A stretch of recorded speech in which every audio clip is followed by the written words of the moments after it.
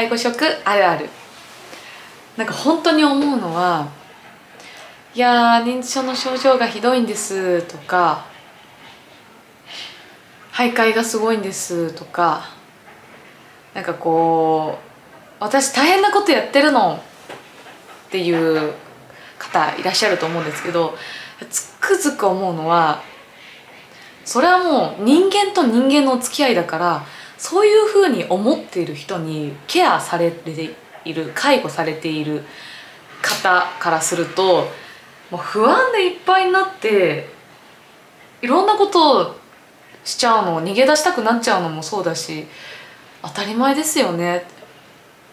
もっとなんか人と人との関係ですからもっと人としていい関係を築こうっていうところからの姿勢が